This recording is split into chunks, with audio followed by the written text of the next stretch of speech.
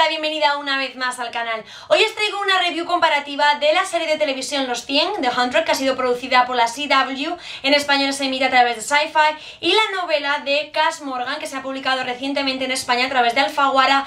Antes de empezar voy a comentaros dos cositas, y es que el libro de Cass Morgan, que está publicado aquí en España, equivaldría más o menos al primer episodio o segundo episodio de la serie de televisión. Así que tranquilos que no os voy a hacer ningún spoiler del libro, porque todo lo que aparece aquí, la gran mayoría ya ha aparecido en la serie de televisión. La segunda cosa que voy a comentaros es que voy a hablar de la serie de televisión y voy a hablar de muchas cosas que ocurren durante los últimos episodios, específicamente en el último episodio. Así que si no habéis acabado de ver la primera temporada de The Hundred, os prevengo de que voy a decir spoilers, así que por favor de ver este vídeo, acabáis de ver la season final y luego venís aquí, porque de verdad merece mucho la pena.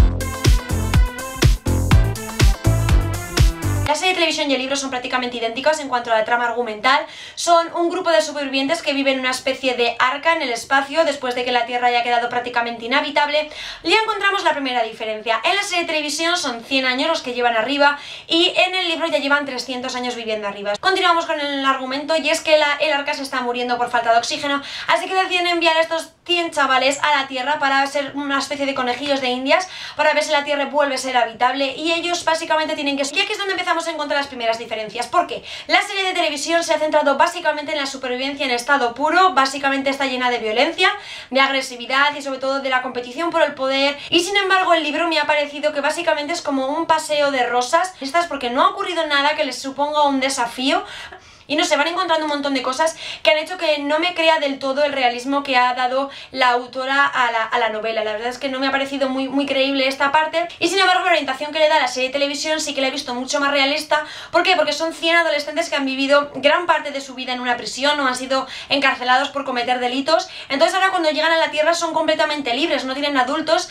que les controlen o que les digan los que, lo que tienen que hacer. Ellos tendrán que aprender que necesitan un líder que los organice y esto supone pues muchas luchas por el poder, mucha violencia y la supervivencia pues es lo que tiene, que a veces pues tenemos que pisotear a otras personas para poder sobrevivir. Y esto es algo que me ha gustado mucho de la serie de televisión porque da un enfoque mucho más realista. Y el segundo elemento que he visto diferente en cuanto a la serie de televisión y el libro es que los personajes, curiosamente, son diferentes. Quiero decir, hay personajes que aparecen en la serie que no existen en el libro y viceversa. Por ejemplo, en el libro aparece el personaje de Wells, que sí que está en la serie de televisión, que es este personaje de aquí, pero este personaje, si lo sabéis, muere durante los primeros episodios de la temporada, sin embargo, es uno de los protagonistas principales en la novela. Sinceramente, este personaje llegó a gustarme, pero como murió tan pronto, pues no me llegué a encariñar con él, así que fue una muerte sin más. Sin embargo, en la novela, pues tiene un papel mm, diferente al que tiene la serie de televisión, porque en este panel es mucho más pastelón. Es el típico chico que ha bajado a la Tierra, igual que en la serie de televisión, para salvar a la chica, que Clark en la, en la serie de televisión es la amiga de toda la vida, pero en la novela es la novia de toda la vida,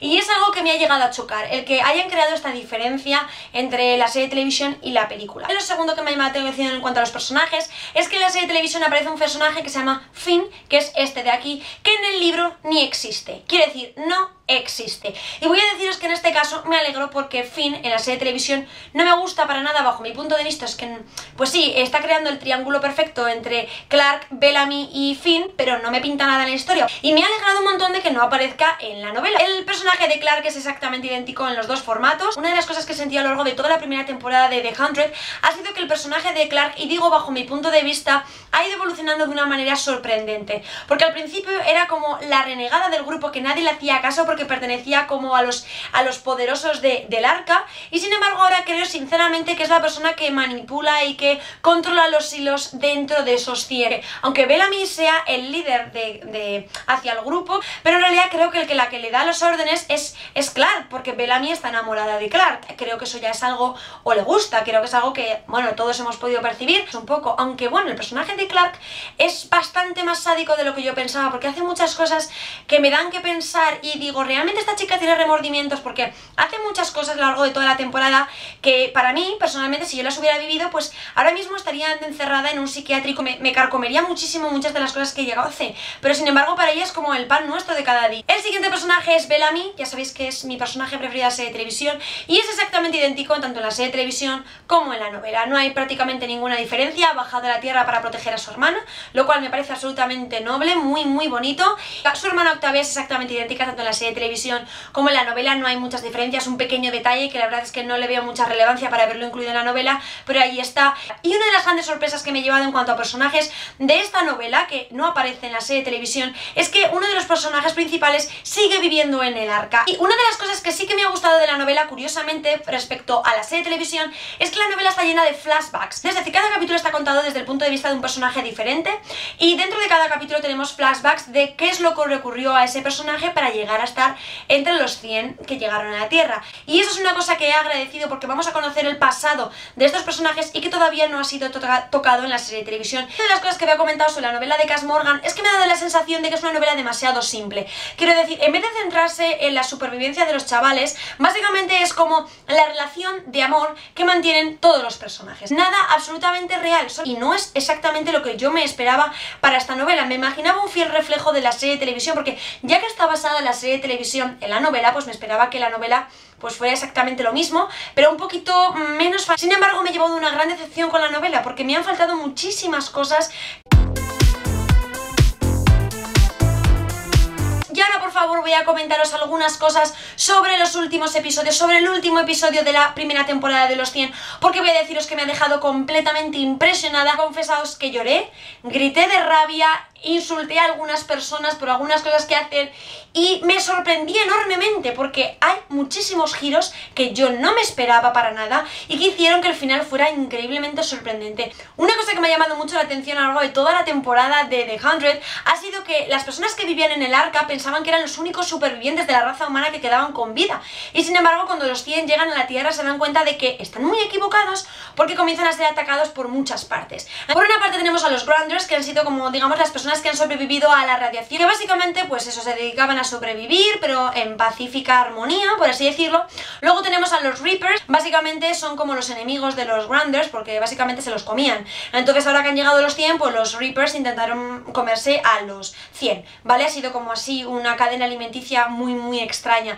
Y luego por otra parte, en el último episodio, aunque ya fueron mencionados con anterioridad, aparecen pues The Mountain Men, los hombres de las montañas. Y el último episodio básicamente es un enfrentamiento entre los tres grandes, entre los grandes, los Reapers y los y una cosa que me ha llamado mucho la atención y que me hace cuestionarme muchas cosas es que obviamente en el arca dispone de tecnología muy avanzada y me pregunto, ¿no han tenido en sus 100 años de existencia y arriba tiempo o recursos para comprobar que la Tierra seguía habitable? Quiero decir, ¿no han visto que había vida? No me cuadra. En este último episodio voy a deciros que me enfadé enormemente con el personaje de Clark porque cuando está teniendo lugar la batalla, el enfrentamiento entre estos tres grupos, Clark abandona a las dos personas a las que en teoría quiere, es decir, abandona a Bellamy y abandona a Finn. Es de, bueno, Finn realmente no me importa, pero abandona a Bellamy. Esto me cabreó bastante y empecé a insultar y a chillarle a la pantalla del ordenador, lo cual es algo totalmente inútil porque no sirve para nada, pero yo descargué mi frustración contra ella. Así que voy a dejar una pequeña petición aquí en el aire y es que, señores productores de la CW, más les vale que el personaje de Bellamy continúe vivo durante la segunda temporada de los 100 o aquí tendrán a una seguidora menos de la serie de los libros.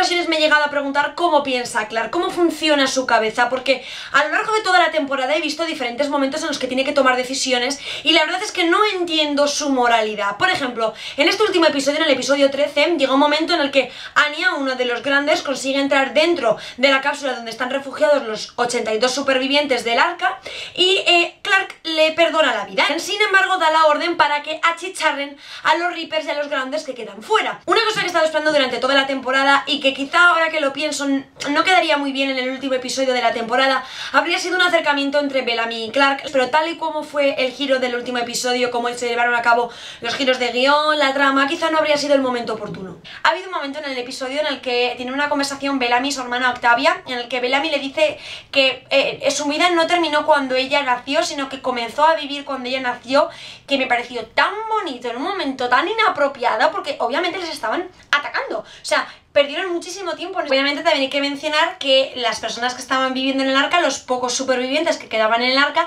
han llegado a la Tierra, lo cual ahora tenemos como un montón de personas en la Tierra. Tenemos a los Glanders, tenemos a los Reapers, a los hombres de las montañas, a los que han llegado del arca y a nuestros ya no 100 supervivientes. Y lo que quiero comentaros es el increíble giro argumental que tiene la serie de televisión durante los últimos tres, igual los dos últimos minutos de la temporada. Cuando Clark y el resto de los supervivientes salen de la, de la cápsula, se encuentran los esqueletos de los grandes y los Reapers carbonizados, de repente comienzan a ser gaseados con gas lacrimógeno o gas de lo que sea, que es rojo allí, se empieza a salir por todas partes y caen desmayados por los hombres de las montañas. De repente aparecen hombres con máscaras antigas, con eh, escopetas, con mirilla láser y digo, madre mía, o sea, wow.